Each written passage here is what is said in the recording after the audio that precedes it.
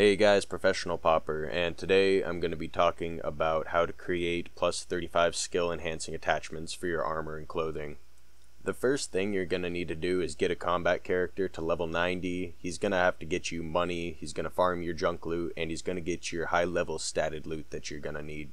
While you're leveling your combat character and collecting your junk and statted loot, you also need to be logged on to your trader and completing the high quality resource collection that's going to grant you the cybernetic deconstruction arm, which helps increase your reverse engineering chance. Speaking of reverse engineering chance, the two stats you're going to focus on are luck and reverse engineering chance. Another thing to keep in mind while you're collecting your statted loot is you're going to want loot that has stats above plus 22. This will save you time and resources in the long run. As well as that, you're going to want any loot that has three or more stats on it to upgrade your SEAs, but we'll talk about that later.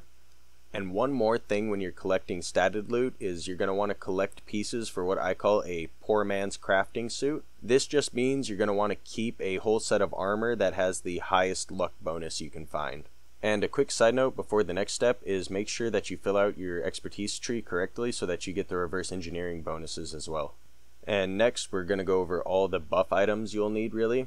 Uh, first off, you'll need a reverse engineering tool. I prefer that you get two of them so you can keep your junk loot stacked in one while you're doing your thing. You'll see why later.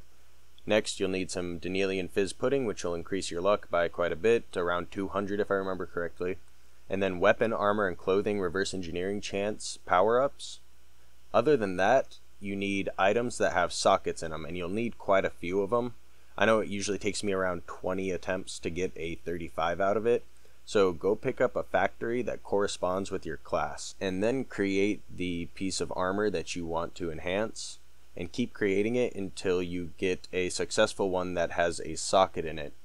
Once you get one that has a socket in it, don't create the prototype, but instead make it a manufacturing schematic and use it in your factory to create identical pieces of that armor with a socket. I forgot to mention, make sure your reverse engineering tool is maximum quality, which should be 10 as well as getting the entertainer luck buff before you start creating your SEAs. I actually also forgot to mention one more buff item called Enhanced Styptic Powder that you get from the Chu-Gon Dar Cube on Mustafar. It is a tiny bit expensive on the market sometimes. It's not break the bank expensive, but it is something you probably want if you're just starting to do this and don't have a full crafter set. So just buy it off the market. It'll be a lot easier than going to Mustafar and trying to find the correct spot to get the combination items. Before I get all buffed up and start crafting the 35s, I'm going to go over a few quick concepts. I apologize for my inventory being not organized at all. But anyways, first we're going to go over power bits. Your power bits are made from using the statted loot you found, which, oops, that is the wrong backpack. Don't worry about that one the statted loot that you found that was 22 plus. So we have a 23 precision. I'm this is technically going to be a waste of resources since I'm not buffed up, but it's all for you guys. So throw that in your reverse engineering tool, hit reverse engineer, and it'll come out as a power bit of a certain order. You have first, second, and third. I will go over that later because it makes more sense when you're actually crafting and explaining at the same time. The next one we're going to go over is modifier bits. The modifier bits are made from using two pieces of junk loot in your reverse engineering tool. So I'll open this. As you can see, I have two pieces of junk loot. I'm actually going to take those out though because those are used to make luck bits and I actually need those. So I'm going to use two things I have a lot of. Let's see what this comes out as. Reverse engineer and it comes out as a two-hand melee action. Alright. Now, there's a website you can go to called SWG Junkyard, and it'll show you all the combinations to make whatever stat you're looking for.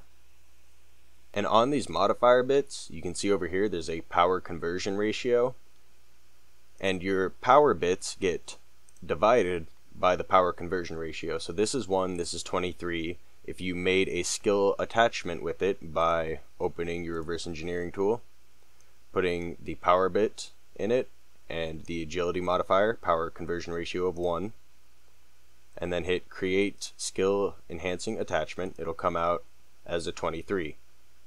Now if you did it with the power conversion ratio of 10, it would have came out as a plus 2. Pretty basic, right? Okay guys, I'm back all buffed up. As you can see, let's look at some stats here. I have around 150 reverse engineering chance, 151 to be exact. And as far as stats go, I have around a 1000 luck, which is where you want to be. The higher the better with both of those, obviously. And I forgot I wasn't recording, so I already went ahead and made my SEA to attach to a shirt. And as you can see, it came out as a 30, which is really good and it was like two seconds ago so you should know how to make the skill skill enhancing attachment right so you do that and you drag it on top of the shirt you come out with this then open your empty reverse engineering tool drag it in there hit reverse engineer and you come out with a, another power bit hopefully of a higher power go ahead make another one of your modifier bits throw both of those in your tool create the attachment open a shirt, drag it onto the shirt. Yes, you would like to use them together. Throw the shirt back in, reverse engineer, and rinse and repeat until you have a 35. After I have both my first order and second order power bit, I'm going to show you how to upgrade your power bits into a third order. Okay, as you can see, I now have my 35 agility attachment, a strength modifier, a constitution modifier, and two more plus 35s. So what we're going to do is open our empty tool real quick. We're going to go ahead, take the agility clothing attachment and a 35 second order into it along with whatever modifier bit you want. Once you have all of that in there, you hit reverse engineer, or sorry, you hit create skill enhancing attachment. It'll come out, you'll look at it, and it should have a 35 agility, 35 strength. Now here's where the weirder part comes in is making your third or making your third order power bit. So what you're gonna do is take and make the SEA like you normally would. 35 Constitution. I think that was the correct one right there. Create SEA, and you're gonna put it into a T-shirt or whatever item you're using really. So now it has a 35 constitution in it. You put that there. Chow, and then you're going to look for one of your pieces of loot that has 3 plus stats on it. So something like this, 4 works. Throw that in there as well. Go to your tool, hit reverse engineer, and you should come out with a 35 third order, which then you need to again go ahead, create the attachment. Was that the correct attachment? Let's see. Agility, strength. No, I need the constitution one. I forgot for a second which uh, set of things created a constitution modifier, I believe.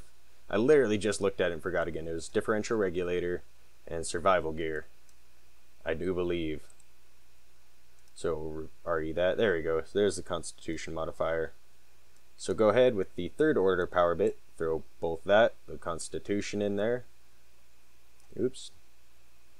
And the agility, or your uh, currently created SEA. And then hit the magical button, create skill enhancing attachment. Bow, bow, bow! You have a max 35 set of stuff to go ahead and drop onto a shirt. So drop it on there, and there's your first 35, your second 35, whichever 35s you're on. Maybe you just forgot. I don't know. I've been drinking a little bit on this last part. Don't judge me. Until next time, guys, have fun.